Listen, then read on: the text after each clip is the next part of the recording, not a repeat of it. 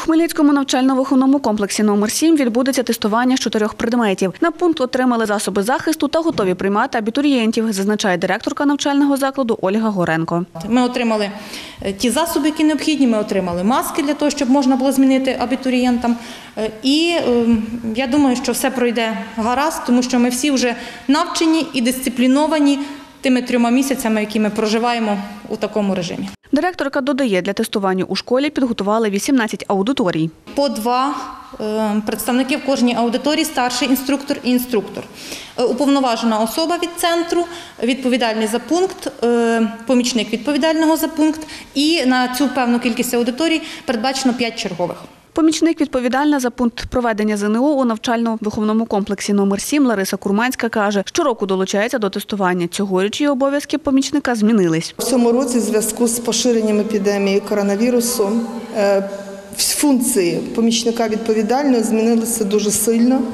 Тепер помічник відповідального більше знаходиться на коридорі, більше знаходиться з е, черговими, контролює вхід до пункту тестування е, учасників тестування, е, дивиться на те, як проходить медичний огляд. На Хмельниччині діятиме 46 пунктів, де складатимуть ЗНО за умов дотримання санітарних вимог. В обласному центрі таких 20, каже начальник відділу державного нагляду за дотриманням санітарного законодавства Хмельницького міського управління Держпродспоживслужби Віталій Носатов.